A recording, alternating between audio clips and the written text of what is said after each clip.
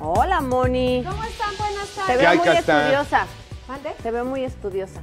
Sí, estoy revisando un material que ha generado mucha controversia junto con el de eh, varios famosos. Están los plays- playoffs en los Estados Unidos en cuanto a básquetbol telefónicas en el caso de Harry. Pues mira, yo Eso me quedo con la allá. fotografía acá está de peso pluma con Chicharo. Con Chícharo. Porque mira, peso pluma en este caso con puro peso pesado. Ah, No, Sí. este está desinflado. Me echan. Lo que O pasa sea, es que... un chamaco que la ha reventado en la música todo. Y está entre los primeros lugares de popularidad, estará próximamente en Tijuana, según lo Oye, estaba pero ya revisando. desbancó a Bad Bunny. De- desbanca, desbanca Bad Bunny en, en un número de lista, pero no, eh, o sea, hay que tener juicio y, y serenidad, No, o sea. de acuerdo, eh, pero lo que es un fenómeno es un fenómeno. Es un fenómeno, ahí va. Vamos a la Permanencia pausa es otra cosa. 1 Y seguimos hablando Sí, sí. en, redes en sociales. redes de este no se vayan. Tú me, tú me vas a, a corregir el lugar número 5 de la lista Billboard Ajá. Hot 100 ¿De acuerdo? y la lista global 200 gracias a este éxito que escuchamos al inicio de, en el teaser con Ella Baila Sola junto a Eslabón Armado. Y el top 1 en Spotify, o sea, Es un Ella fenómeno. baila, ella baila sola que estaba buscando las eh, reproducciones que tiene. Ahora, no se nos olvide que es un grupo. Él es el vocalista. Ok. ¿No? O sea, es una agrupación. Él es el vocalista de la agrupación. Él es conocido como Peso Pluma. Y él es, digamos, el que atrae toda la El que atención. da la cara y el que pone da la la voz. cara, el que pone la voz, que ha hecho colaboraciones.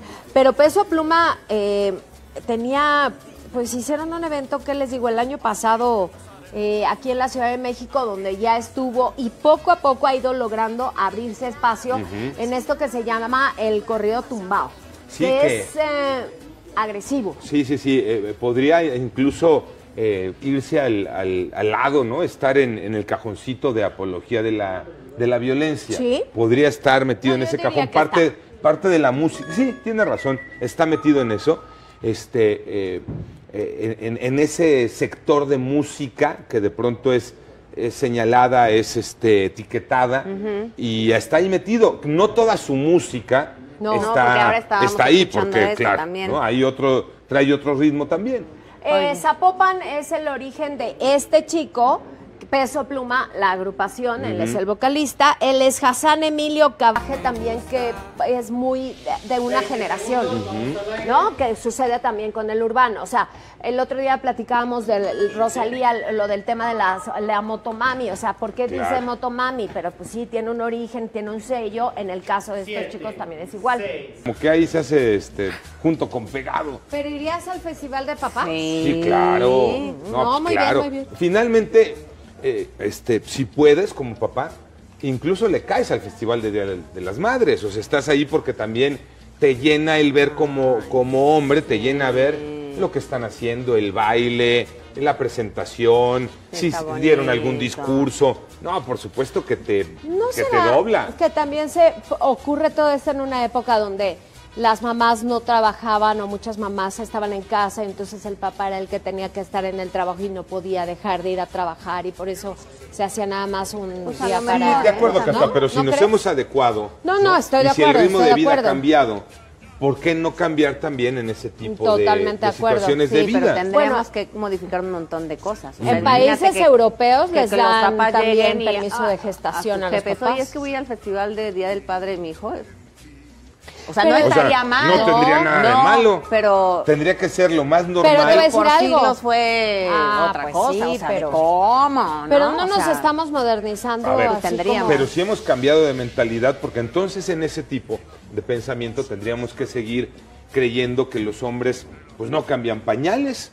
También, por ni eso te digo. trastes, ni esas Y, cosas. Porque- y- y perdón, pero pues ya eh, esto es un parejo, es acuerdo. un Claro. eh, ir venir de este 50-50. nos repartimos las labores y lo que hay que hacer incluso con los chavos. En lugares en Europa les dan tiempo cuando se convierten en papás, luego... este, eso ha avanzado aquí. Aquí día también aquí, ya, ¿no? aquí vimos Eso lo de las vacaciones en pareja cada año, no, no, fue aquí, es, pero... eh, aquí en este tema particular es este, igual unos días de paternidad, pero aquí se ha dado incluso la crítica de ¿a qué se va a quedar? Y se quedan en la casa que ¿no? No, yo creo que ¿Por está qué se va a bien. quedar? Pues ¿Por depende qué qué se va- cabrón tengas en tu casa, Por eso, ¿no? Cris, pero a eso hemos llegado. ¿No? A eso hemos llegado. ¿Por qué se va a quedar 20 días? No, que se vaya a trabajar. Sí, a eso sí. hemos llegado. Pero sí es un paro. No, pues cómo no. No, y además también creo que estos primeros días de, eh, de convivencia familiar, sobre todo cuando es el primer niño, debe de transformar la vida no solo de la pareja, sino también la vida familiar, ser más eh, cercanos. Y te voy a decir una cosa, es cuando yo creo que días muy importantes el papá logra ese vínculo Sí. con el bebé, porque al final la mamá pues estuvo con él nueve meses, el papá nunca tuvo este tú a tú, piel con piel, hasta que nace. Y entonces ese acercamiento durante los primeros días y semanas sí es bien importante. Para mí es lo más importante.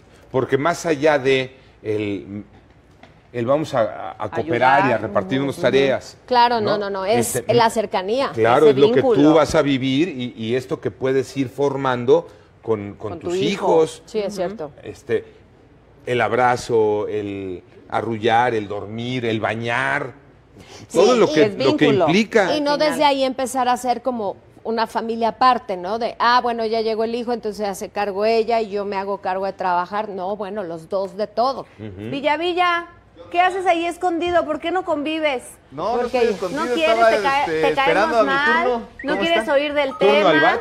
¿Yo qué? ¿Turno al bat? ¿Qué es eso? Ah, mi turno al mat, sí, claro. ¿Cómo que es eso? O sea, está- estaba hablando mi orden. joya, sí, sí, sí, para entrar yo. Siento que se puso nervioso con Bienvenido, el yo tema. también creo que se puso nervioso. ¿De qué?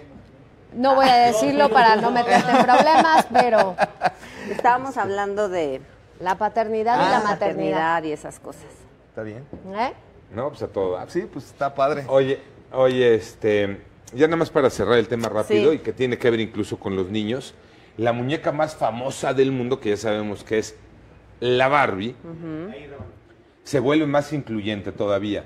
Y han creado una muñeca con síndrome de Down. Eh, y, y así han ido con muchas otras cosas. Nada más les voy a compartir este dato por si pensamos que no. En México, 2018, al día nacieron dos niños con síndrome de 2018 diario. todos los días. Todos los días.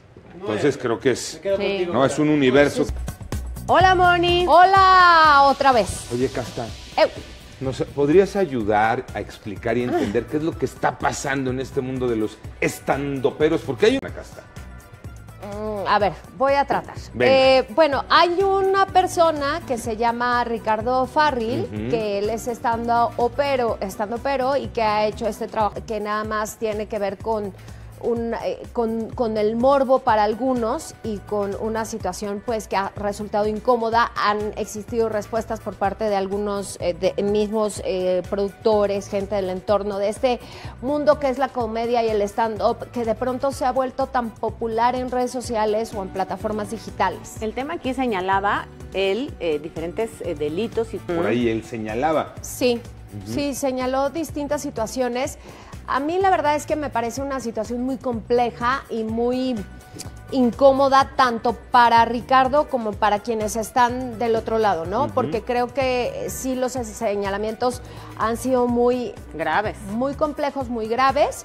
Y también eh, Ricardo ha eh, hablado de ciertas condiciones de ansiedad que en su momento ha, ha pasado y ha Ahorita nos vivido. sigues platicando más eh, en vivo en redes sociales. Sí, sí.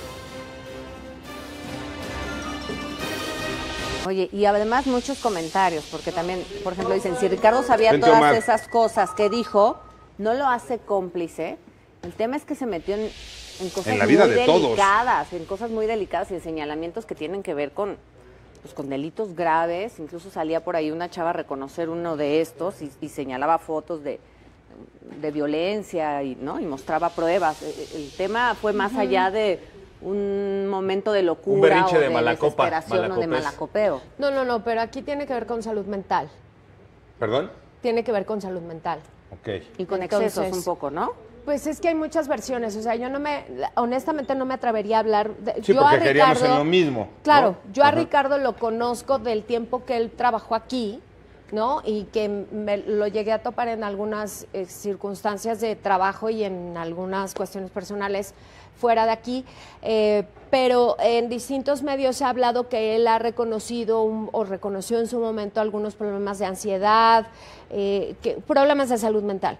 Entonces, yo la verdad es que no, no me puedo atrever a decir si era un tema de mala copa. De hecho, él era muy activo en sus redes sociales y de pronto dejó de estar en sus redes sociales. No sé qué pasó.